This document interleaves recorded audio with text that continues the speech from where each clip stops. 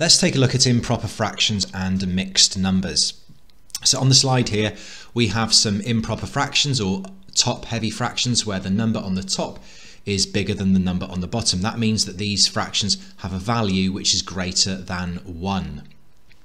Now the line in a fraction means divide. So 9 over 4 means 9 divided by 4. How many 4s go into 9? Well 4 goes into 9 twice and there is one left over.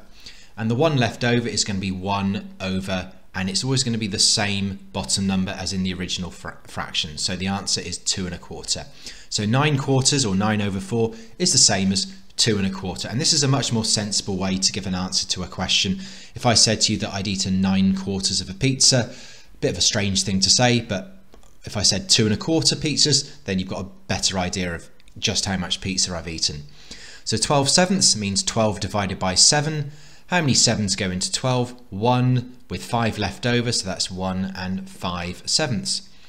26 fifths, 26 divided by 5. How many 5s go into 26? Well, it goes 5 times with 1 remaining, so that's 5 and 1 fifth.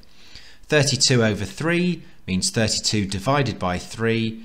3 goes into 32 10 times with 2 left over, so that's 10 and 2 thirds.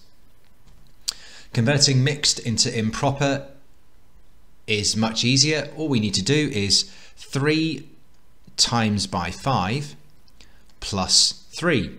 So 3 times 5 is 15, plus 3 is 18 fifths. 5 and a quarter, 5 times 4 is 20, plus the 1, 21 quarters. 9 and 7 tenths, 9 multiplied by 10 is 90, plus the 7 is 97 tenths.